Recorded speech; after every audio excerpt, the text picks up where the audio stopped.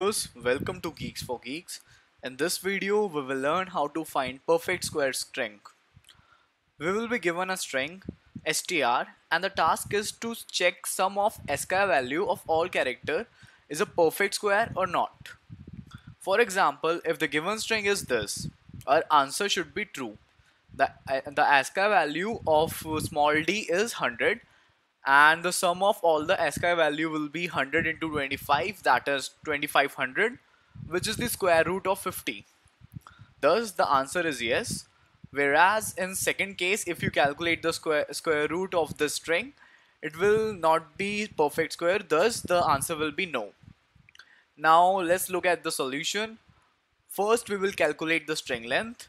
Then calculate uh, sum of ASCII value of all characters take the square root of the number uh, number sum and store it into variable square root. Take floor value of the square root and subtract from square root. If the difference of floor value of square root and square root is 0 then print yes otherwise no. Uh, this is the implementation for the same. We will make a method called is perfect square string which takes string as an input. We will declare an int sum which is equal to 0 we will find the length of string and store it in length. Then we will start a loop traversing through the string from each uh, for each char of the string.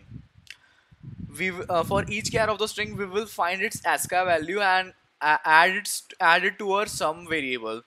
After completion of this loop we will take square root of the sum. At last we will check if the difference of floor value of square root and square root is 0 then print yes otherwise no Thank you for watching. Please leave us your likes and comments.